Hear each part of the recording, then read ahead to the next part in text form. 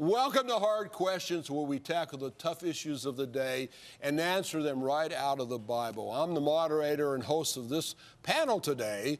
And on the panel, Dr. William Glaze from Bethany Baptist in Pittsburgh. Amen. Pastor Lee Kricher from Amplified Church in Pittsburgh. Thank you. Uh, Pastor Pete Jagalone, I got to say it like that, from McKeesport, Pennsylvania. Amen. And our special guest, Rabbi Daniel Lapin from the American Alliance for Jews and Christians not in Pittsburgh. Uh, fair to say. Fair to say. Well, here, here we are to take the questions that you sent in. And our whole purpose for this program is to be able to present to you uh, answers that you may not have access to in your regular life. So here we are with the hard questions panel. Go to the first question. Here we go, guys. Is it okay to indulge in the luxuries of life? Well, you know, I, I think it's okay to have things as long as things don't have you. And, you know, you look at the Bible, uh, Job, you know, he was very wealthy. Abraham was very wealthy. So, you know, I, I don't think that God condemns, you know, the luxuries and having things. It's just that when you uh, have the wrong perspective and they grab your heart and you start becoming greedy and, and, and your personality becomes uh, negative and sinful, I, I think at that point it becomes a problem. Spencer Cross. Well, it's amazing that we have a- an author of one of the finest books in America with us because his book has given me greater respect for money than ever, ever, ever before. And, and I think the greatest thing I can share with other people is from your book, the integrity of money. You can have things, and as Doc says, as long as things don't have you, that they don't become our act of worship. So if you want to drive a nice car and you can afford it, drive that nice car and, and don't be ashamed of it. But if you can't afford it and go after it, you know, again, it comes back to I, I really, really respect the book that you wrote. It Thank was- you, Pastor. I Well, mean, we it got to was- say the title of the book. What's the title of the book? thou shalt prosper. Thou shalt prosper. Right. Uh, uh, thank you very much. I was wondering, like, is it going to be left to the only Jew here to promote the book? Like, you guys are talking about money and luxuries, and I'm trying to sell books, you know? well, you've got a follow-up book to that. even, I do. Business secrets from the Bible, but uh, we'll, have, we'll have time in the future. Let's give you those. that question. What, Yeah. what about luxuries in life?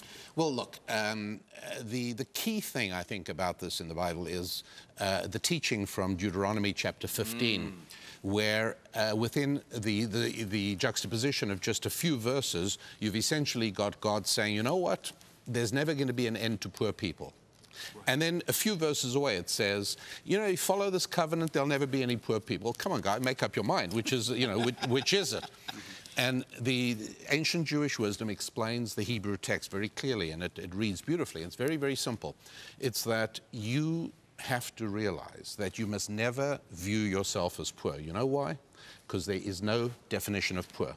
And anybody who hmm. thinks that Donald Trump doesn't go to bed at night gnashing his teeth about Bill Gates doesn't understand human nature. Oh, hmm. Poverty is and wealth are relative. And so God is hmm. saying, you may never view yourself as poor. How dare you identify your personality by the value of your bank account? On the other hand, you always should look at people who have less because you owe an obligation to them. But you're not poor. So, in other words, there will always be poor. Don't worry, that you'll always have people to give something to. But there will, but the poor will vanish if you follow the covenant because you'll learn not to see yourself as poor. So, um, wealth and poverty are very, very relative. And so, for instance, when the government or politicians use phrases like the rich don't pay their fair share, guard your wallet Guard your wallet. because they're not defining rich. And here's the best part of it in the Lord's language, there is no word for fair. So much so, and I, look, I don't know, like, does the angel Gabriel teach babies in utero the word fair? Like, my kids never went to school. We had homeschooling, and yet they were three years old when we were here. It's not fair, mommy. Like, who taught you that word? but there is no word like that in Hebrew, so much so that in Israel, little kids in Israel come out of the womb saying, Zeh law, meaning in Hebrew, this isn't Zeh law, and then they have to revert to the English, Zeh law fair. Because there's no word in Hebrew for fair. Because what is fair? It's undefined. Fair is as much of your money as anybody wants to take away, but you've got to give fair. So luxury is, for me personally, um, having a boat isn't a luxury, it's a necessity. But obviously, to many, many, many other people, they look at me and say, Lapin's into luxuries. You know, it's, it's a different thing. Pastor Lee, what do you say? Well, if you are blessed to be able to, you know, we, we went to the seventh game of the Stanley Cup recently series, series and we were able to do it. And so, when, if you're blessed to be able to do it, as long as it doesn't compromise a generous spirit. Right. And so, to me, if you're generous and you're blessed, Yeah. then you can enjoy those blessings. But it should spark greater generosity, not less. You have to give in proportion to your luxuries. Exactly. Yes. Well, then why is it so that many Christians feel convicted, if not condemned, or if they have anything that's nice because they think somebody's going to look at them and judge them, I suspect. Why is it that way? I, I think in the pastorate, I, I'm very cautious. I, I, um, especially pastoring in the inner, inner city, uh, perception is everything. Perception is everything. Matter of fact, some of the jewelry I have on today was, was, was inherited. And this particular ring sat in a safety deposit box for many, many, many, many years. And I thought, you know, nuts to this. This is a memory of my father. I didn't buy it, the church didn't pay for it. And uh, I just said, why should it sit there? I, I, and this is the first time I've, I think I've ever worn it on air. Um, and I told my congregation the first time I wore it a couple of weeks ago, I said, you know what? Please don't judge me. This is a memory of my father.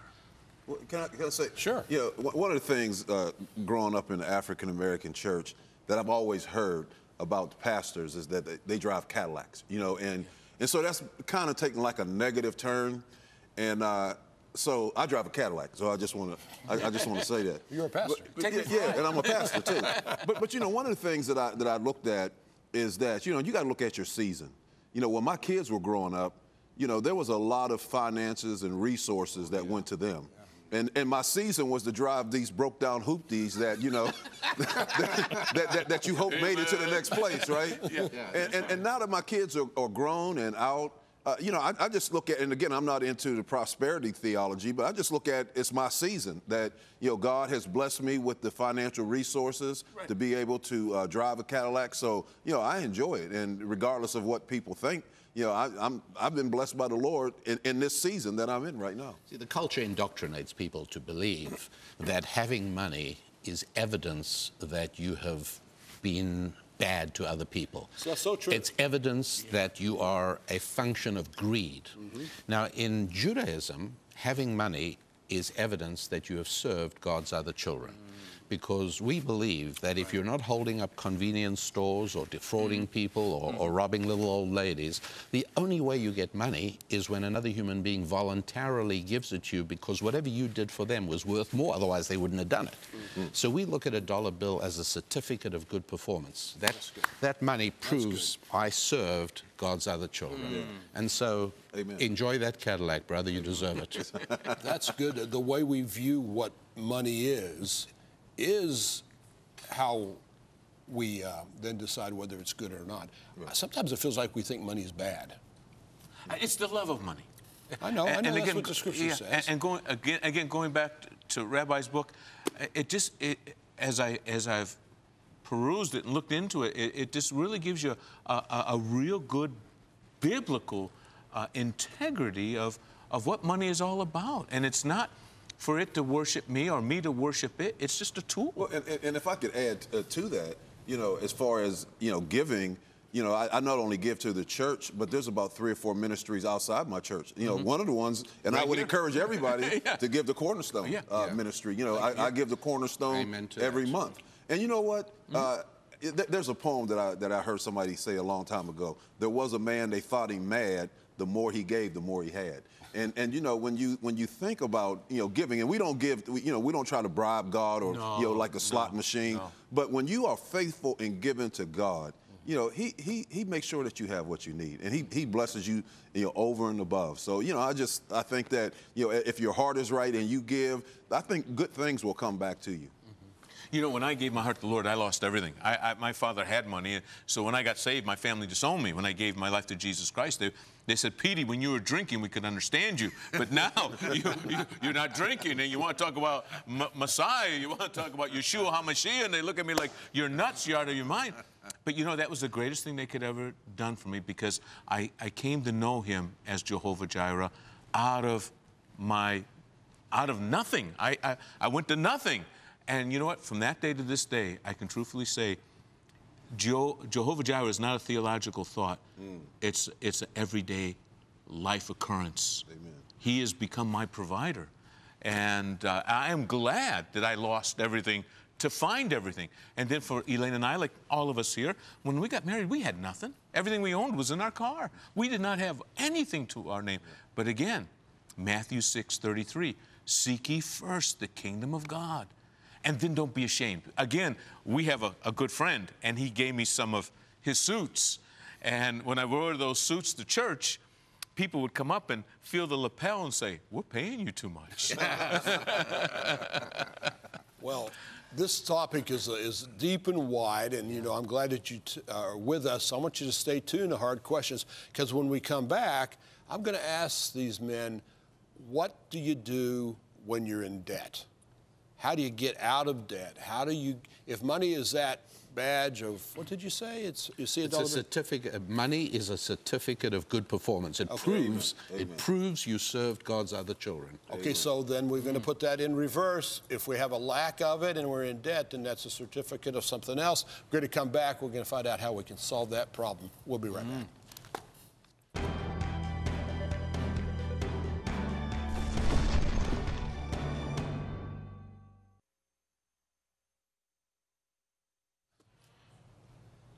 Welcome back. We're here with a esteemed panel, and we're talking about money.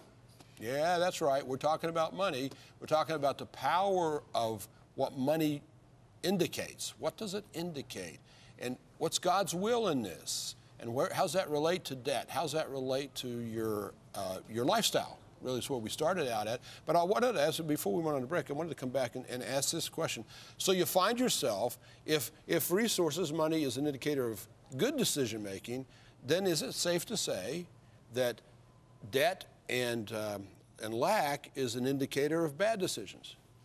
Well, yes, it, it, unfortunately it is, and it's a painful thing for, for me and for anybody to acknowledge. But, uh, you know, there's such a thing as bad luck with, with medicine. You know, you, you can have uh, a medical problems. It's not- your fault.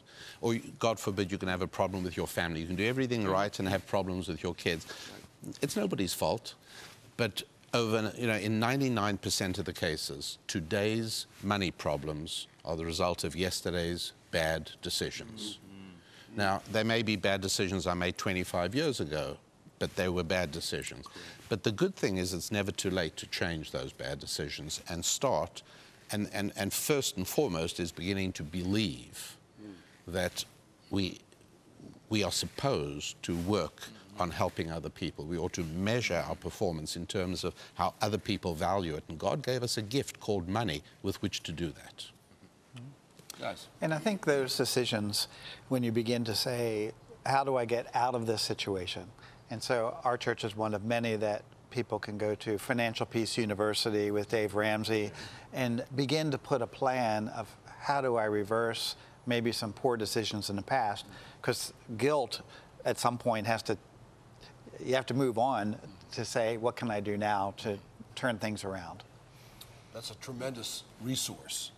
Is Financial Peace University? How about how about you, Doctor? Well, you know, I was going to say that, you know, uh, and there's different views on this, so I'm not sure everybody will agree with me. But, uh, you know, I- I've heard people say that, you know, when you're in debt, that, you know, you, you need to get out of debt and then start giving to the Lord. And, you know, I would believe that in the midst of being in debt, that the best thing you can do is continue to be faithful to God. Amen. Because, you know, you're, you're actually cutting off you, the hand that's feeding you. Yes. And- But I've heard, I, I- I mean, I've sat under teachings and I've heard people tell other people, counsel them and say, well, you know, you should, uh, you know, until you get out of debt, you know, you should not give, you know, your, your to the Lord. But I think that that's the primary thing that you need to do. Let's hit the word tithing. I, I agree with you 100%, Doc. I mean, I've been there many times in my life, and, and sometimes, matter of fact, giving to this ministry many, many, many years ago, things weren't looking good for us financially, and I started writing out checks. My wife said, What are you doing? I said, I'm giving our way out. Now, I know people look and say, Oh, come on, but I'm serious. I've done that in my own personal life, I've done it with the church's life. When we went to the church, it was it wasn't looking too good. And we took on more missionaries and we started giving out more money. And then, you know, from the north, south, east, and west. And I know people saying, you know, is he preaching pie in the sky? No, I, am just sharing what the word says. Give, Right. and it shall be given back. You And know, that's and- the will of God that we're talking about. you know. yeah. So, so, so where does the faith aspect come in? The faith aspect comes in when I say, I trust you, my loving Heavenly Father. I trust you. Instead of me holding on, I trust you for with I, what I have, and, and I trust you to m- meet the lack of, of what I have. A lot of people have credit card debt. You make me think about that, Pastor Pete, because credit card debt is nothing but an act of faith. That's right. Because you take this piece of plastic and you go buy something that you want with the understanding you don't have the money, or you paid for it in cash, but you used the, the credit card as your instrument of faith. And that sometime, somehow, you may not even have any clue on how that's going to happen. The average American, I think, has a $20,000 cr- uh, charge card uh, debt. Wow. Somehow that's going to get paid for. And, Rabbi, that's just folly. No, it's, it's sheer folly, and I, I, I can't uh, emphasize enough um, your point, Pastor, that um, Dave Ramsey is a, a believing Christian guy. He's a great guy, and he's saving the lives of millions of Americans. And literally anybody who is suffering under the burden of debt, go to a church that runs Financial Peace University. It's going to change your life. Um, it's, it's, it's tough medicine, but it changes your life. And, and on, on your up. point, the, the Hebrew word for tithing is exactly the same as the Hebrew word for wealth, right? making your point, and, and you're exactly right. Uh, giving gives you the same high as spending money does without a bill at the end of the month to pay. and so, why would you hurt your earning capacity by withholding your gift? And that's why it's a percentage. It's not an absolute amount. No matter how little I've got, 10% is still 10%. It's okay. And so uh, that, that is the avenue. And I think the, the, two things to focus on simultaneously elimination of debt, which is a sometimes a multi-year program might take two or three years uh, but at the same time you've got to be focused on increasing revenue it's a worthy and a good thing because increasing revenue means you found ways to serve more of god's children know, and I, I would like to say because you know, we have Dave's, Dave Ramsey's program at our church. We offer Financial Peace University, and he has an expression that he uses. It's called a stupid tax, and you know, and it's and it's going back to what we're talking about, the will of God. That if, if we will, you know, govern our finances according to the Word of God, mm-hmm. then we won't find ourselves paying those stupid taxes. You know, and those are ones that we make bad decisions, and we end up paying more in, than we want to pay. So, amen to that yes exactly I think one, one thing that's important, especially if you're in a situation where you're in deep debt, and it, it can be very painful. And sometimes we think, well, if I'm sick, I can become happy and content if I get better. But really, can you find a happiness and contentment in that situation while you're working towards physical health? Yes. And can you find a peace and contentment in Christ while you're working towards financial health? Yes. So don't postpone Right. healthy relationships and relationship with God and say, someday when I get out of debt, I'll, I'll be able to have some sense of peace or a feeling I'm in the will of God. Well, the moment you decide to head in the right direction, you're in the will of God. Mm. That's really good. It's real good because we can't wait for the solution. We are part of the solution. yes And, and to think of what the scripture says godliness with contentment is great gain. Uh, you know, it's not what I wear, it's not what I drive, of course, you know, and I'm not, you know, but my relationship with Christ, godliness with contentment, there, there's my great gain. It's not my, uh, I'd love to have a, a, a zillion dollars in the, in the bank account, but, but my contentment isn't there. It's in Christ, it's in my relationship with my Lord and Savior.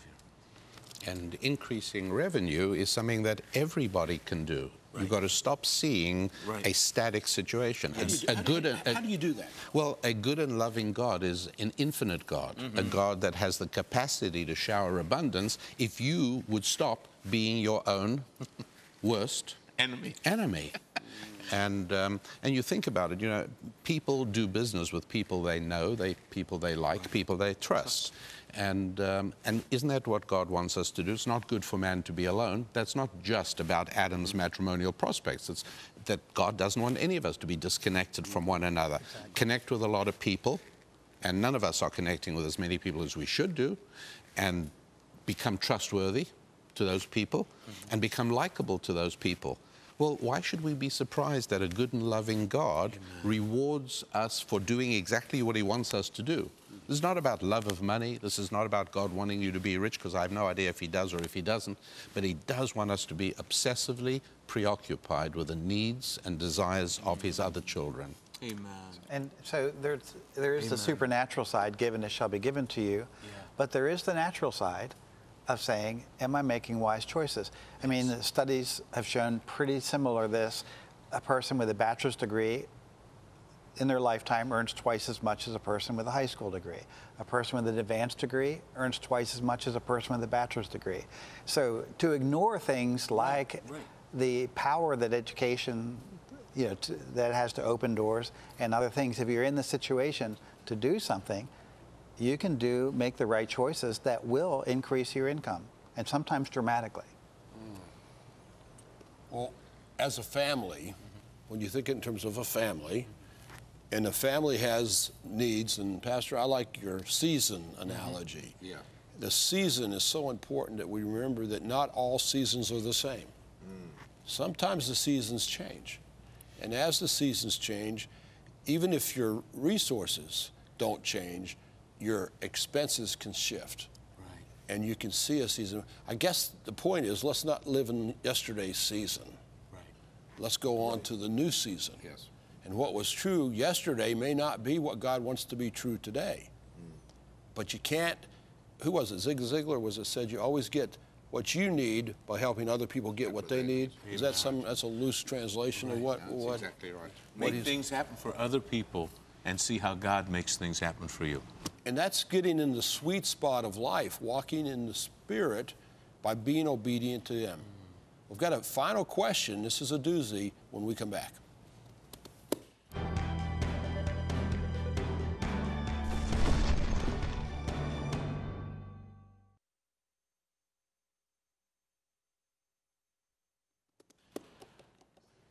So here it is. Lightning round. Does God care about money? Well, I think if we look at Jesus and we see that he had more to say about money than he did about heaven and prayer, I think God cares about money. I, I think if we take our money and, and literally um, worship God with our money, we'll always have enough money to go ahead. When we're generous with money, it changes the world for Christ. There you go. Rabbi. Uh, does he care about money? Does he care about us being wealthy? Uh, that I don't know. But does he care about us caring about his other children? Absolutely. And it shouldn't surprise us that a good and loving God would reward those who care for his other children with the enormous blessing of financial abundance. Because it's isn't it isn't it a cycle? You give and you receive. You give and you receive. It's the we talk about seed time harvest all the time. As you plant, you get a crop. As the mm. crop is harvested, you have more seed. The seed gets planted, there's another crop. It's a cycle. That's you see it in nature. We see it now in our in our springtime here in this area. Like to end the program. Thank you guys for a great program. End the program with the scripture. Let's go to Psalms which says this I will bless the Lord at all times. Amen. His praise shall continually be in my mouth. My soul shall make its boast in the Lord. The humble shall hear of it and be glad.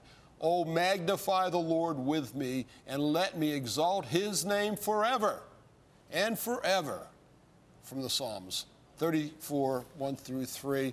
We're so glad that you tuned in to watch the Hard Questions program. And pastors and Rabbi, what, what a pleasure. Mm, thank you very It much, is. and it's an honor to be with you. We're kind of in your sweet spot. It's kind of your sweet spot. Yeah. We're glad you joined us too. Send your hard questions to CTVN, hardquestions at ctvn.org. When you do, who knows? Maybe on our next program, we'll be asking your question. I, ho- I hope we do.